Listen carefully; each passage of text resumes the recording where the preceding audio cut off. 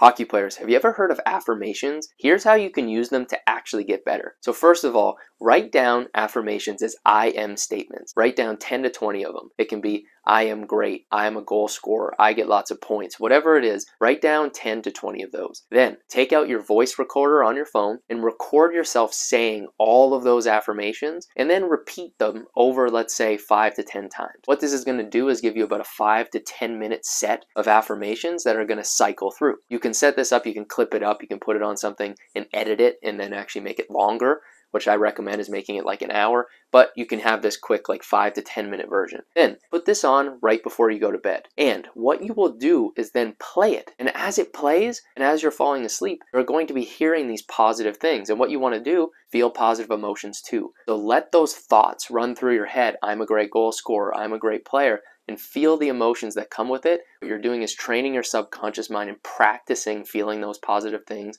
thinking those positive thoughts, and this increases the chances that they become part of your subconscious identity so you can play better on the ice. If this helps, send me a follow if you want more stuff like this.